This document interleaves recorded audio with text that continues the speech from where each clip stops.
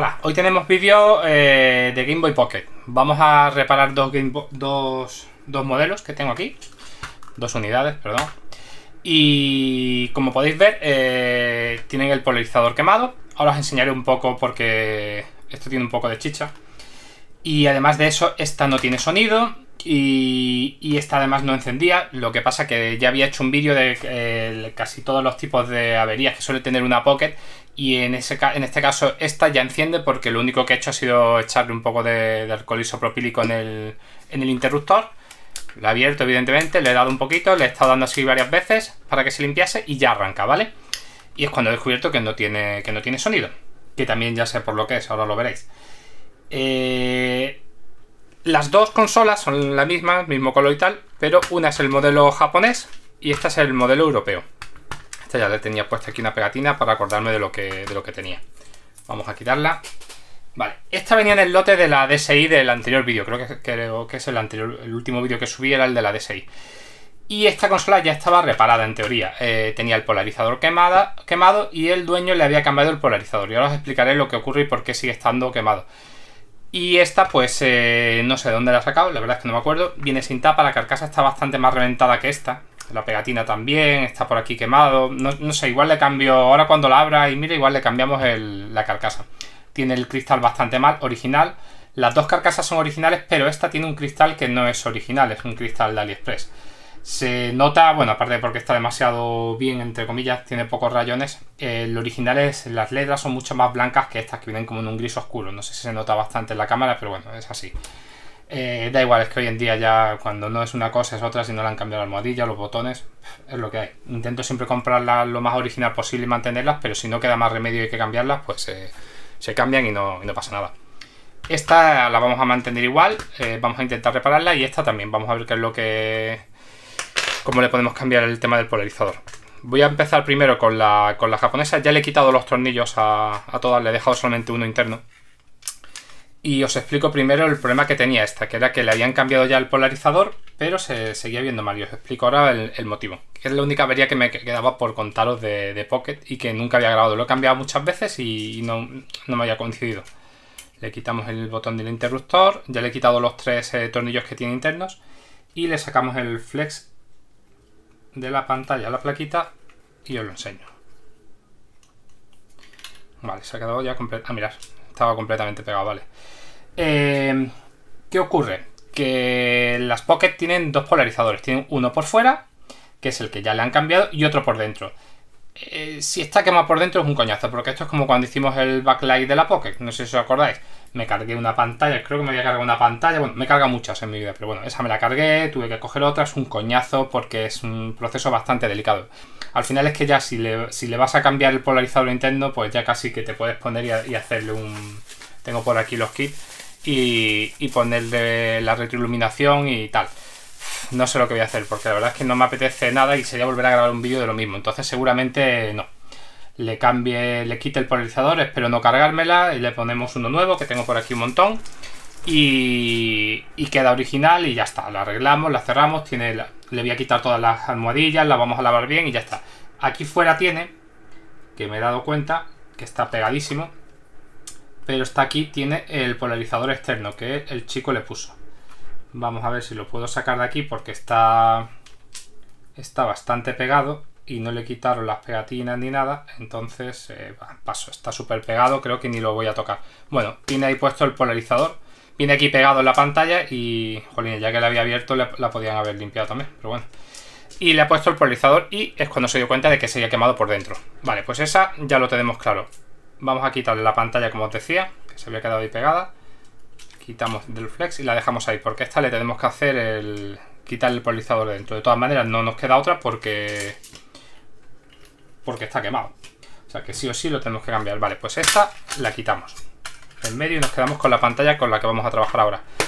Y esta eh, no lo he mirado porque no le he quitado el polarizador, yo no le he quitado nada.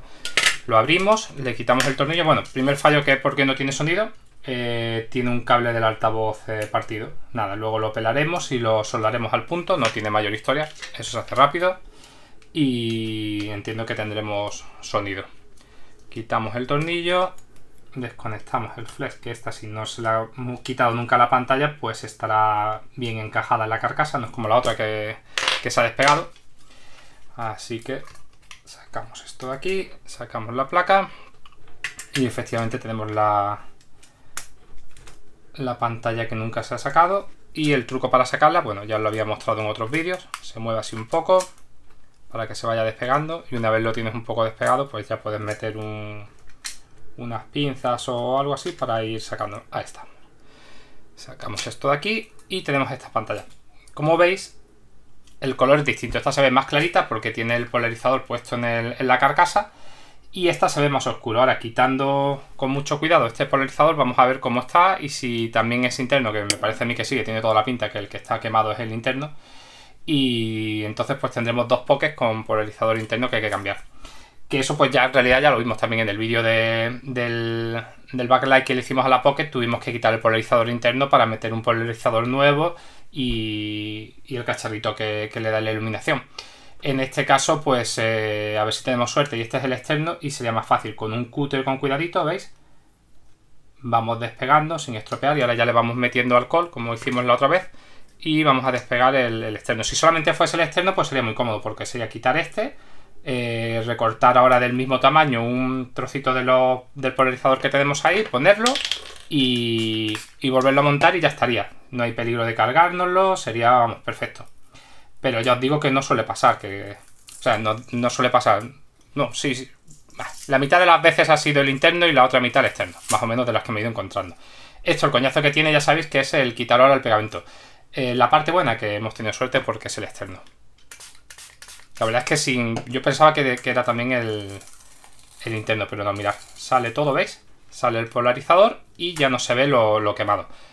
Eh, genial, pues muchísimo más fácil. Lo dejamos por aquí para usarlo ahora de molde para cortar el, otro y lo pondremos aquí. Eh, esta parte ya la conocéis, es un coñazo, es eh, echarle alcohol y echarle aquí alcohol y hay que sacar todo perfectamente, todo el pegamento antiguo. Yo me ayudo de, este tipo de, herramientas, de pincitas o, estas que tengo por aquí y nada, le echo el alcohol para que se vaya poniendo blando, ¿veis?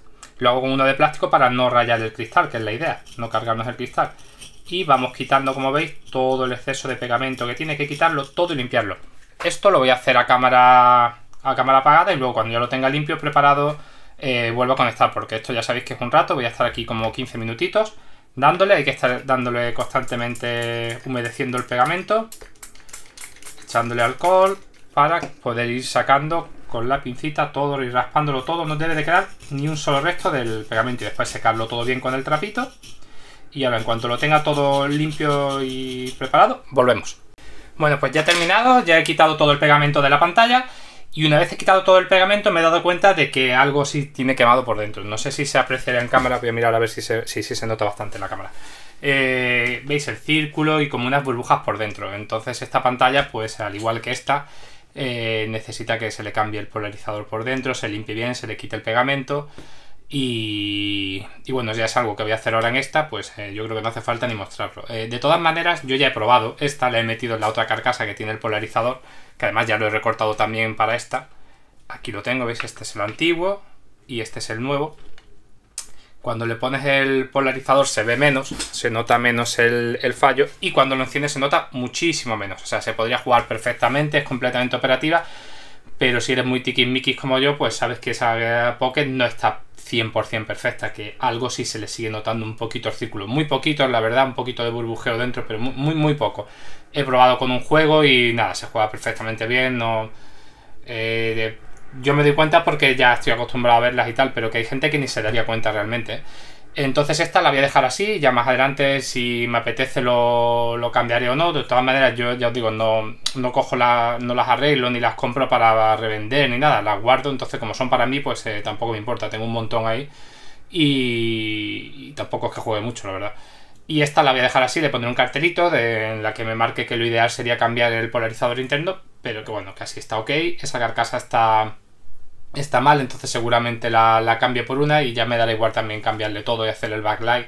Se lo haré tranquilamente, como ya tengo un vídeo de ese tema, pues no lo voy a volver a hacer.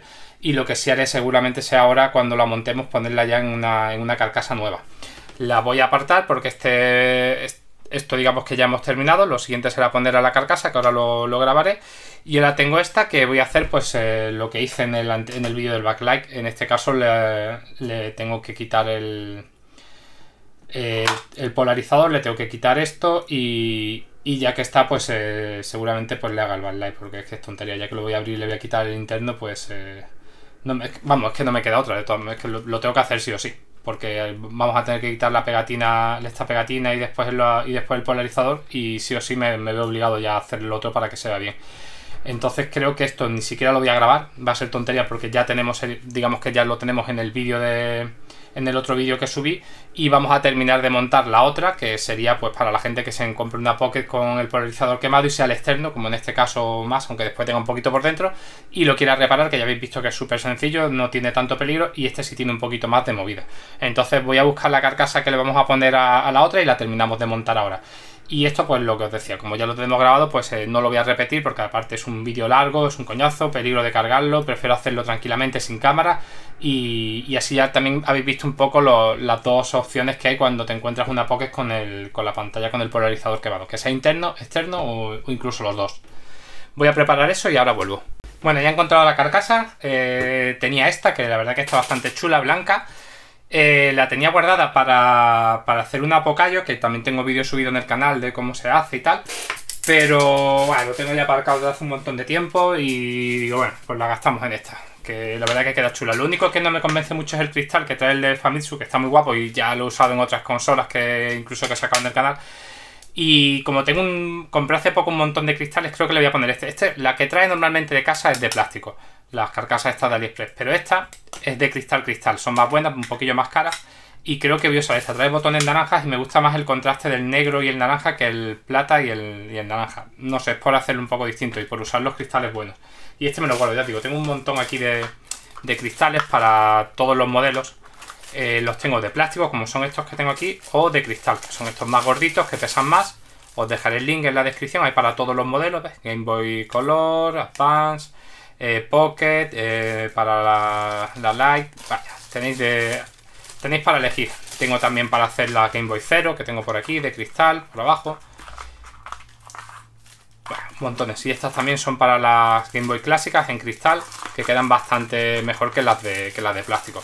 Bueno, pues eh, yo creo que voy a usar la de cristal cristal y esta de plástico la guardamos siempre estoy a tiempo de cambiarle y como ya de todas maneras hemos decidido que esta pantalla eh, le vamos a hacer también el backlight como la otra Pocket, pues ya cuando lo haga, ya lo enseñaré como hago a veces en vídeos más adelante, os enseño cuando ya lo, he hecho fuera de cámara, os enseñaré un poco cómo queda ya esta con, el backlight hecho. Ahora mismo lo vamos a dejar así, la otra también y ya más adelante pues eh, os enseñaré un poco cómo, queda, pero bueno, lo de siempre. Si ya tenemos hecho un vídeo de eso, no lo vamos a repetir. Otra cosa que he hecho ha sido soldar el cable que estaba suelto del, del altavoz y pues ya directamente vamos a montarla. Eh, lo primero que vamos a hacer es colocar los botones y las almohadillas nuevas. Vamos a usar también los, tornillos que trae, porque aunque son distintos a los originales, eh, no trae el Triwin, son normales de estrella. si os dais cuenta, los normales son mucho más largos. Estas carcasas de AliExpress, como les pongas, reutilices los originales, te, te la cargas. Te la cargas porque son tornillos mucho más gordos los originales. Así que vamos a usar los, los que traen la bolsita. Otra cosa que os quería decir, si os habéis dado cuenta, en, el cristal antes os comenté que las de plástico vienen más claritos donde pone Game Boy Pocket, el Power. Y eso es porque las de plástico pues son mucho más malas. Y estas de cristal, si vienen la imitación de los colores de la original, son muchísimo, muchísimo mejor. Entonces no se nota tanto el eh, como en las otras el cambio de color. Aunque vamos, siempre se va a ver que, no es la original, claro. Y más ahora que va a ser de cristal. Nada, pues voy a colocar todo lo que son los, los botones. A ver si soy capaz de ponerlo bien. Bueno, ahora vamos a poner también la cruceta, la almohadilla, colocamos todas las almohadillas también, esto va aquí al revés, esta yo quiero recordar que era una carcasa bastante buena de las que de las mascarillas que había en Aliexpress y aún así la verdad que están menos logradas que, las carcasas de otros modelos que venden en, en, Ali. Pero bueno, para la Pocket tendré que comprar otra, ya miraré a ver una que me guste. Ya lo pensaré con calma. Vamos a poner la pantalla primero. Tenemos aquí el polarizador nuevo. quede ahí bien fijo.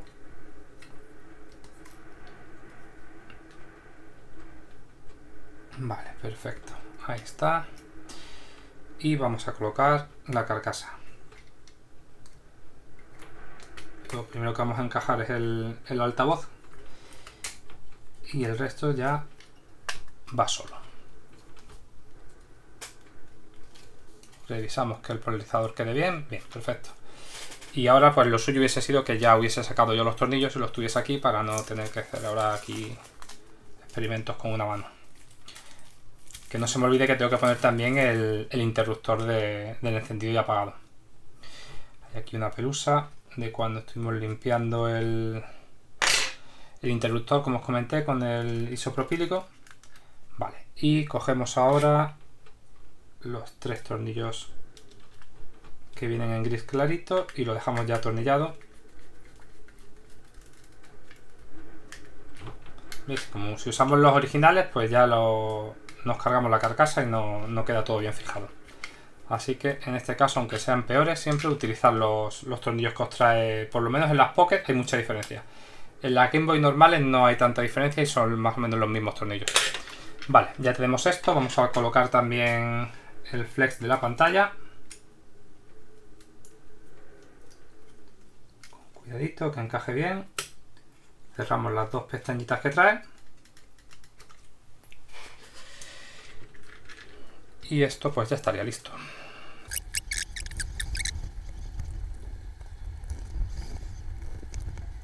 Vale, ya hemos puesto los tornillos, vamos a poner el cristal. Quitamos la pegatina. Tengo por aquí el cúter, con cuidadito de no rayarlo.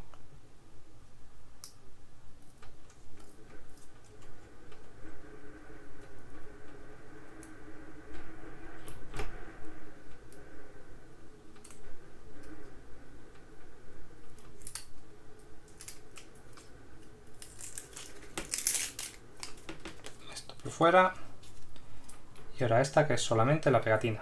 Cuidadito de no ponerle la mano para no manchar el cristal.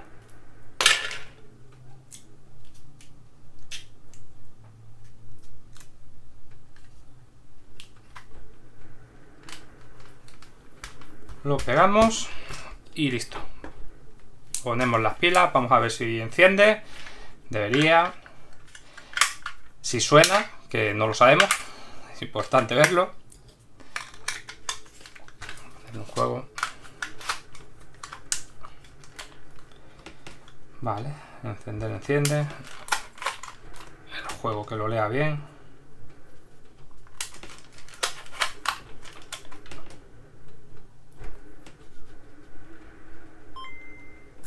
Vale, sonar ya sabemos que suena, ahora solamente me queda que este juego lo, lo coja y lo lea bien ahora. Vamos a quitarle el plastiquito este de protección. Ya suena. Podemos mover el contraste, evidentemente. No sé cómo se verá en la, cámara, si se nota mucho el, lo que ha quedado un poco quemado el polarizador, pero bueno, en principio parece que no, que está bastante bien. Suena muy bien, se ve bien, se puede jugar perfectamente, ya os digo según en el ángulo en el que lo tengas, eh, se nota más o se nota menos. Eh, la realidad es que si lo tienes en el ángulo cómodo para jugar, teniendo en cuenta que no está iluminada, eh, no se nota prácticamente nada. listo, le he puesto también la regatina, que se la puse antes. Si eres muy tiquismiquis y tienes la carcasa antigua y quieres ponerle el, el, código, el número de serie, pues se lo puedes despegar y poner, pero yo creo que queda un poco cutre cuando se ve tan nueva y encima con un cristal, esto, pues bueno, ya sabe todo el mundo que es una consola con carcasa cambiada y no hay ningún problema. A ver, como y más Espera, espera, espera. Vamos a ver. Eh, tenía ya grabado el final de este vídeo y no sé si lo he comentado porque como lo he ido grabando eh, por partes, no lo he grabado del tirón. Eh, no sé si lo había comentado. bueno, como ya sabéis, no, no, me apetece nada hacerle el backlight a una Pocket porque es un coñazo. Ya tenéis un vídeo, ya os lo he comentado muchas veces. Lo odio. A la altura de los flex de la DSI y, y digo, no lo voy a volver a grabar. Pero al final, cuando terminé de hacer el vídeo, pues directamente me puse a hacérselo a la que tenía el polarizador quemado por dentro. Aquí está. Ya está hecho, ha quedado perfecto, no me lo he cargado. Y digo, bueno, pues quito la parte final del vídeo y meto esto para que lo veáis. Tengo esta también encendida para que veáis las diferencias que hay entre una Pocket eh, normal, digamos, con la pantalla original y una hecha con el backlight para que veáis un poco también cómo se ve la, el retroiluminado, que mejora muchísimo. Siempre con el peligro que tiene, ya sabéis. Y poco más. Eh, le he lavado también la carcasa, la he limpiado para que quede lo más eh, bonita posible. Y bueno, lo único que le quedaría sería el cristal, que no está en muy buen estado, no está perfecto, tiene que un rayoncillo y tal, pero bueno, más o menos, eh, como veis, se ve perfecto. Y bueno, pues lo que, lo de siempre, cualquier duda, consulta en los comentarios o en mi Instagram y os dejaré el link a todos los elementos que he utilizado para, para hacer estas reparaciones y nos vemos en el próximo vídeo.